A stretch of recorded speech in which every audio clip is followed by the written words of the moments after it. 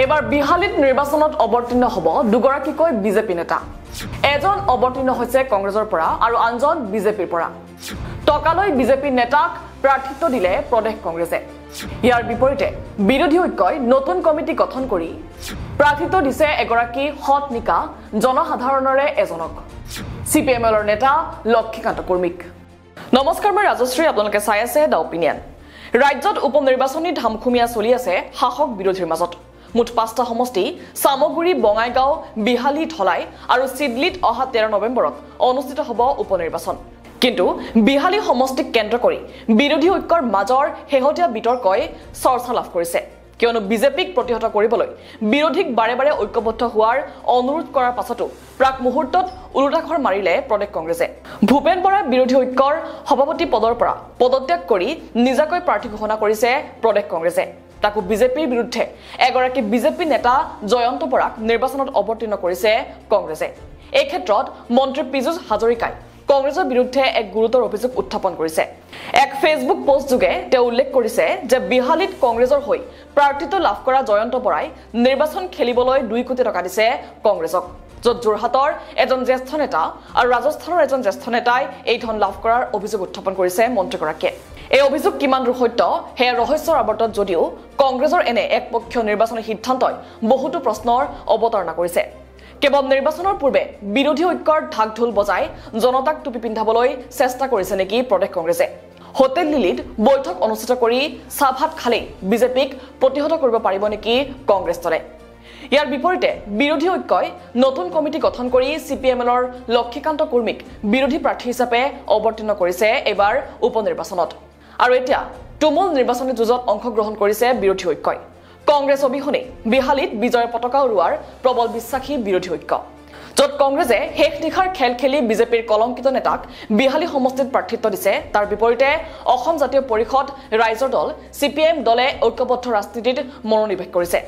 আজি বিহালীৰ নিৰ্বাচনী প্ৰচাৰত চি পি এম নেতা তথা সৰভোগ সমষ্টিৰ বিধায়ক মনোৰঞ্জন তালুকদাৰে বিজেপিক তীব্ৰ সমালোচনা কৰে।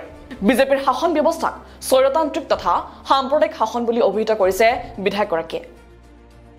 তদুপৰি বিজেপিয়ে ভাৰতবৰ্ষক হিন্দু ৰাষ্ট্ৰলৈ ৰূপান্তৰিত কৰাৰ যি চক্ৰান্ত কৰিছে তাক লৈ উদ্বেগ প্ৰকাশ কৰাৰ লগতে নিবনুৱা সমস্যা মূল্যবৃদ্ধিক লৈও চৰকাৰক সমালোচনা কৰিছে মনোৰঞ্জন তালুকদাৰে।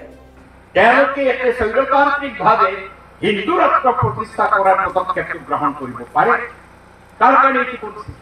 আমি ইয়াৰ তীব্ৰ বিৰোধিতা কৰিছো। কিয় কৰিছো ভাৰতবৰ্ষ এখন ধৰ্ম নিৰপেক্ষ ৰাষ্ট্ৰ এইখন দেশত অকল হিন্দুই বসবাস নকৰে, হিন্দু সংখ্যাগৰিষ্ঠ সঁচা কিন্তু ইয়াতে ঊনৈশ কোটি মুছলমান মানুহ বসবাস কৰে, চাৰি কোটি খ্ৰীষ্টান মানুহ বসবাস কৰে।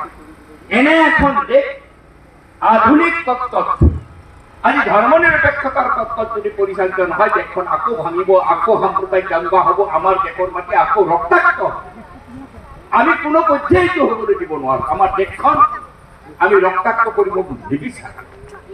এনে এক অৱস্থাৰ মাজত আমি ভাৰতীয় জনতা পাৰ্টীক পৰাজিত কৰাৰ কাৰণে সংঘবদ্ধ হৈছো।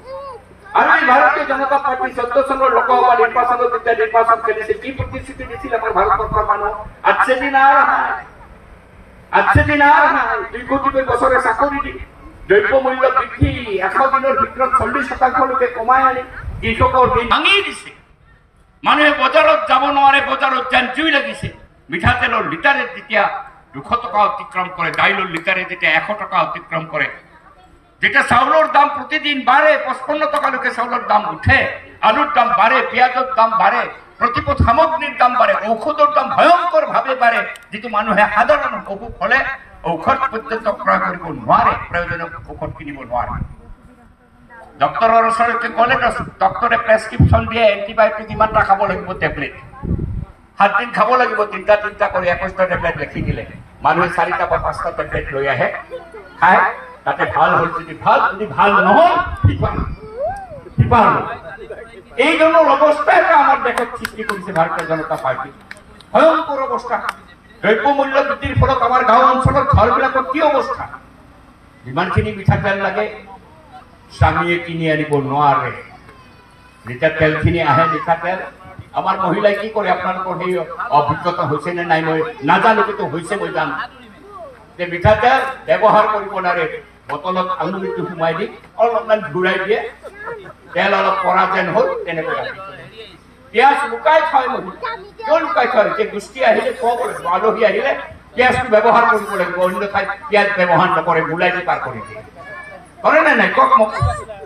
এই অৱস্থা কোনে সৃষ্টি কৰিছে ভাৰতত? ভাৰতবৰ্ষত এই অৱস্থা সৃষ্টি কৰিছে ভাৰতীয় জনতা পাৰ্টি তেওঁলোকৰ অৰ্থনৈতিক নীতিৰ ফলত মই আজি সেই ব্যাখ্যালৈকে নাযাওঁ আমাৰ ৰাজ্যখনৰ লক্ষ লক্ষ যুৱক কৰ্মহীন হৈছে ক'ত গৈছে? তেওঁলোকে কৰ্মসংস্থান বিচাৰি হয় কেৰালা, নহলে তামিলনাডু, বাংগালোৰ, ঘূৰি কৰ্মসংস্থান বিচাৰি। এতিয়াতো দেখা গ'ল। তিনি হাজাৰ চাকৰি, পাঁচ হাজাৰ চাকৰি। তেৰ লক্ষ ইণ্টাৰভিউ দিছে, তেৰ লক্ষ কিন্তু এইখন বিজেপি এই বিজেপিয়ে এতিয়া হেমন্ত বিশ্ব শৰ্মাই কৈ আছে চিঞৰি আছে এক লাখ চাকৰি দিছো। কিন্তু আচল কথাটো কি? মইতো এছেম্বলিত আছিলো মোৰ লগতে বিতৰ্কৰ ফলত হিমন্ত বিশ্ব শৰ্মাই কৈছিল যে এক লাখ চাকৰি মই গণি গণি এক বছৰত দিম। মই কৈছিলো নোৱাৰে। আপুনি নোৱাৰে। এক বছৰ যেতিয়া পাৰ হৈছে মাত্ৰ ছয়ত্ৰিশ হাজাৰ। মই আকৌ কষ্ট কৰিলো এক বছৰ পাৰ হৈছে এক লাখটো নহল ছয়ত্ৰিশ বোলে দি আছো এই বছৰত। ছেকেণ্ড ইয়াৰ যেতিয়া পাৰ হৈ গ'ল তেতিয়াও নহল। তেতিয়াও গৈ পেলাই থমকৈ থাকিল কি হ'ল এতিয়া? বোলে দি আছো। তুমি এক লক্ষ চাকৰি দিয়া বুলি গৰ্ব কৰি আছে। কিন্তু এটা প্ৰশ্ন মই বাৰে বাৰে কৰি আছো মুখ্যমন্ত্ৰী। আজি হিমন্ত বিশ্ব আহিব। ইয়াতে যদি তেওঁলোকৰ এজেণ্ট আছে খবৰ নিশ্চয় পাব বা চৰকাৰী যিটো আছে তেওঁলোকে খবৰ। এটা পোষ্ট ক্ৰিয়েট কৰিছে নে এটা পোষ্ট ক্ৰিয়েট কৰা নাই খালী পদ কেইটাত তেওঁলোকে এপইণ্টমেণ্ট আছে খালী নতুন পোষ্টটো ক্ৰিয়েট কৰা নাই। কিন্তু আজি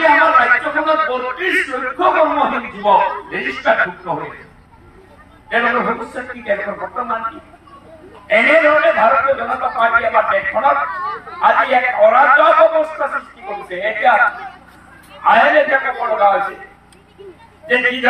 কেন্দ্ৰীয় চৰকাৰে ঋণ লৈছে, এই ঋণ যদি আৰু বাঢ়ে, তেতিয়াহ'লে দেশৰ অৰ্থনীতি বিধ্বস্ত হ'ব।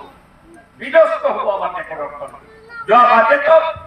ষাঠি শতাংশ যেতিয়া ঋণ বিত্তমন্ত্ৰীয়ে ক'ব লগা হৈছে যে আমাৰ এই ঋণটো পঞ্চল্লিছ শতাংশলৈকে কমাই আনিব লাগিব কমাই আনিব পৰা নাই আকৌ ঋণ আমাৰ ৰাজ্য অসম আজি হেমন্ত বিশ্ব শৰ্মাই গৰ্ব কৰি দম ভালো কথা কিছুমান লৈ ঘূৰি ফুৰিছে এই ৰাজ্যখন কি অৱস্থাত পৰিছে ৰাজ্যখনত আজি এক লক্ষ পঁচপন্ন হাজাৰ কোটি। কেনেকৈ কৰ্মসংস্থান? কেনেকৈ উন্নয়ন হ'ব? আজি আমাৰ ৰাজ্যখনত বাৰ হাজাৰ কোটি টকাতকৈ বেছি টকা ঠিকাদাৰৰ বিল দিব লগা আছে। এতিয়া ঠিকাদাৰে টেণ্ডাৰ নিদিয়া অৱস্থা আৰু যিসকলে কাম কৰিলে তেওঁলোকে কপাল চকৰিয়াই আছে চিলিং নাহে চিলিং নাহে। এনে এটা অৰাজক অৱস্থা ভাৰতীয় জনতা পাৰ্টি কৰি দিছে। আটাইতকৈ ডাঙৰ ঘটনাটো হৈছে এই চৰকাৰ যাৰ যি দল ভাৰতীয় জনতা পাৰ্টি আৰু ভাৰতীয় জনতা পাৰ্টিৰ পিছত থকা যিটো আৰ এছ এছ সংগঠন এই সংগঠনে সাম্প্ৰদায়িকভাৱে দেশখনত আজি প্ৰতিদিন সাম্প্ৰদায়িকতা বিয়পাই দিবলৈ চেষ্টা কৰিছে। সাম্প্ৰদায়িক উত্তেজনা সৃষ্টি কৰিবলৈ বিচাৰিছে সাম্প্ৰদায়িক এৰি দি আছে। আমাৰ মুখ্যমন্ত্ৰী হেমন্ত বিশ্ব শৰ্মা কেইদিনমান আগতে উজনিত ন্যায় যাব হুলস্থুল হৈ যে ন্যায় যাব নিদিওঁ মই নিদিওঁ। এখন ৰাজ্যত দেশৰ কথা যদি কওঁ আজি যদি কেৰালাই কয় অসমৰ যুৱকক মই সোমাব নিদিওঁ আমাৰ কেৰালাত। তামিলনাডুত সোমাব নিদিওঁ। লক্ষ লক্ষ অসমৰ যুৱক ফিৰি আহিব লাগিব এইটো হয় এইটো গণতান্ত্ৰিক আমাৰ সাংবিধানিক অধিকাৰ আছে। যে আমি যিকোনো জাগালৈকে যাব পাৰো যিকোনো জাগাত গৈ কাম কৰিব পাৰো যিকোনো জাগাত গৈ পেলাই আমি বসবাস কৰিব পাৰো। কিন্তু আজি অসমতে অসমতে শিৱসাগৰত যাব নোৱাৰে উজনিত যাব নোৱাৰে এই ধৰণৰ হুলস্থুল হেমন্ত বিশ্ব শৰ্মাই মিয়া মিয়া মিয়া মিয়া মিয়া কৰি একৈশ নিৰ্বাচনততো হুলস্থুল লগাই দিলে যে পঁয়ষষ্ঠিৰ যুদ্ধ পঁয়ত্ৰিশৰ বিৰুদ্ধে সভ্যতাৰ যুদ্ধ পঁয়ষষ্ঠি মানে কি? হিন্দু।